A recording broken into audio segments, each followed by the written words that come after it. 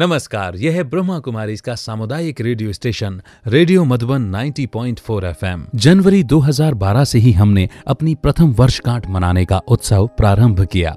इस मौके पर मुख्य अतिथि के रूप में मौजूद थीं चीफ ऑफ़ प्रजापिता ब्रह्मा कुमारी ईश्वरीय विश्वविद्यालय। राजयोगिनी आदरणीय दादी जानकी जी, सुप्रसिद्ध गीतकार एवं गायक ओम व्यास जी, जो कि मुंबई से पधारे थे। Chairman nagar palika Abu road Ashwin Garg ji, Aastha channel पर प्रसारित होने वाले अवेकनिंग विद ब्रह्मा कुमारी की host Kanu Priya ji, voice of Himachal के खिताब से नवाजे गए सिंगर पुनीत भाई एवं ब्रह्मा कुमारी संस्था के वरिष्ठ भ्रातागण।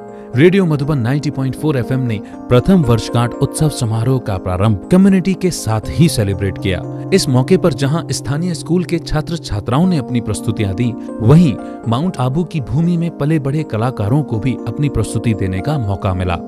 रेडियो मधुबन की प्रथम वर्षगांठ पर कुछ ऐसा भी हुआ कि पहली बार कुछ कलाकारों ने अपने घरों से निकलकर किसी मंच पर प्रस्तुति दी।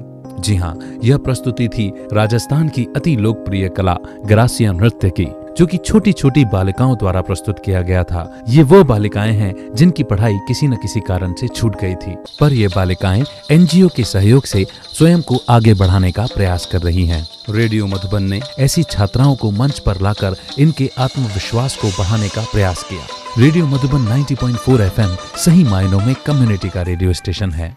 हम अपनी प्रथम वर्षगांठ के उत्सव समारोह पर ही पुनः एक बार यह प्रतिज्ञा करते हैं कि राजस्थान और माउंट आबू के आसपास की कम्युनिटी की सेवा में हम सदा तत्पर रहेंगे। सुनते रहिए, मुस्कुराते रहिए रेडियो मधुबन 90.4 एफएम के साथ। आइए देखते हैं उत्सव के दौरान प्रस्तुत किए गए कार्यक्रमों की झलकियाँ।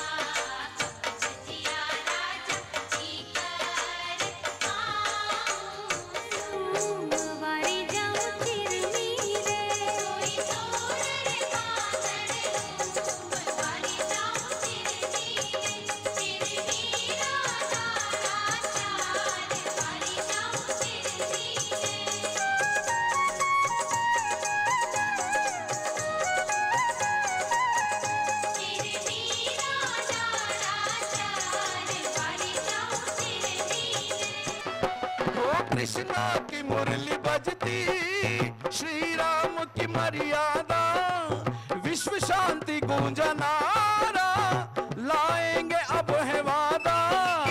क्यों?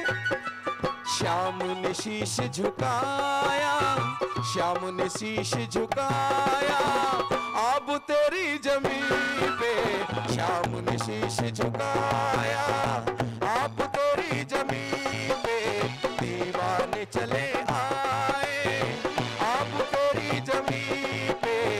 दीवाने चले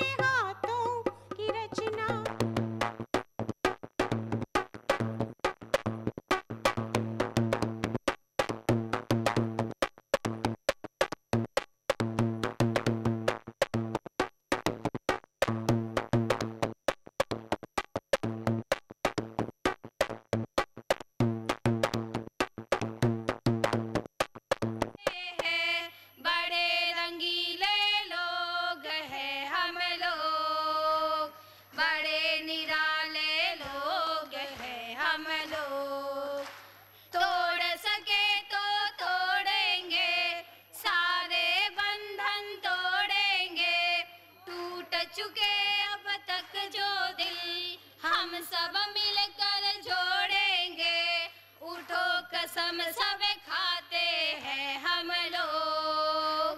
बड़े निराले लोग हैं हम लोग। मेणला आया मारी माँ।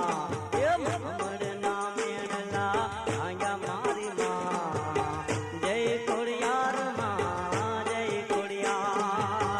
जय कुड़ियार माँ जय Kudiyar. Radio Madhuban 90.4 FM. Community में छुपी ऐसी प्रतिभाओं को सलाम करता है।